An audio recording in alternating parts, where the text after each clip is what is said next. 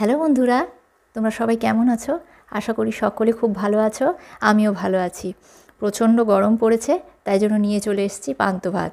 পান্তা ভাতের সঙ্গে খাব আলু ভর্তা, মিষ্টি কুমড়ো ভর্তা আর এই যে ছোট মাছ ভাজা আর বেগুন ভাজা। তার সঙ্গে নিয়েছি শুকনো লঙ্কা, পেঁয়াজ আর যেটা না হলে চলবেই না, সেটা হচ্ছে গন্ধরাজ লেবু। তাহলে চলো ভিডিওটা শুরু করি। যদি ভিডিওটা ভালো লাগে তাহলে লাইক করে দিও কমেন্টস করে জানিও কেমন হয়েছে, আর প্লিজ সাবস্ক্রাইব করো। তাহলে চলো শুরু করছি। খুব গরম পড়েছে। একটু পান্ত ভাতটা না হলে চলবে না।